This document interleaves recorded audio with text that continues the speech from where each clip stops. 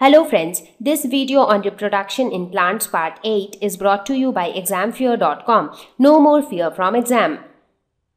So these were all the methods of natural vegetative propagation where we saw the leaves, roots and stems they exist that is how they exist in nature. We do not do any modification whether you talk about the potato or the onion or the bryophyllum we are not making any changes to it. So whatever it is that is present in them by itself and they give rise to new plants with similar characteristics as their parents. So we really do not have any control on which type of plants will get produced.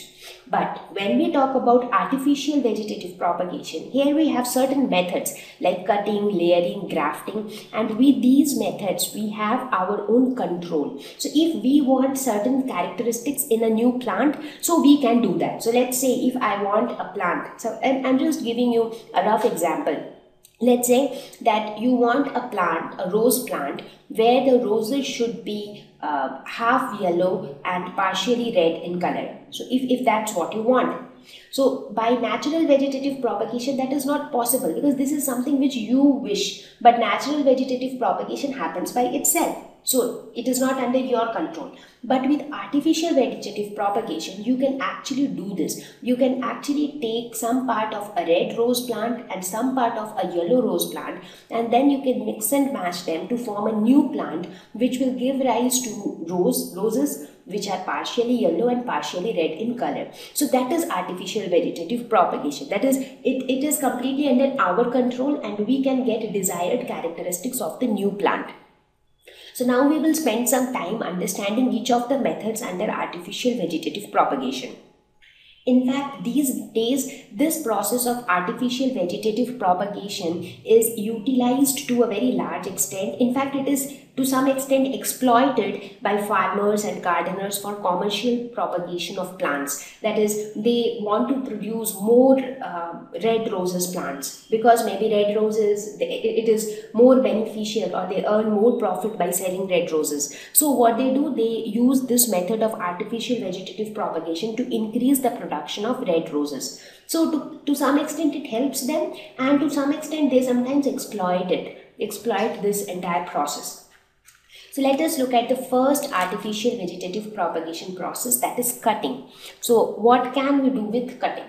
So here a plant part is cut from the parent and put into the soil which later give rise to a new plant. So have you ever seen that uh, in if you have a small garden in your house you would have seen that you and your neighbors if you like a plant which is there in your neighbor's house what do you do? Sometimes you just take a stem of that plant a stem with a branch or something and then you come back to your home and you put it into the soil. And then over a period of time it gives rise to a new plant. So basically what did you do? You just took one part of that plant from your neighbor's garden and then you had put it in your house and you got a new plant. So basically you have you helped the plant to reproduce. A new plant was formed with the help of one plant part from the parent so this is called cutting. So we, because you are actually cutting one part and that part is capable of giving rise to new plant.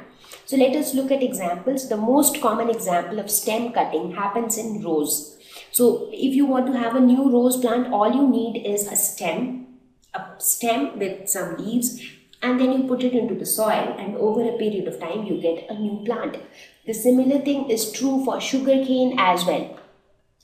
So there are certain plants where root cutting helps. Now, not the stems of all plants are not capable of giving rise to a new plant. So, in some plants, that capability is with the roots. For example, dahlia. In case of dahlia plant, dahlia is a kind of flower which is like quite big inside. And then in, roughly this is how it looks.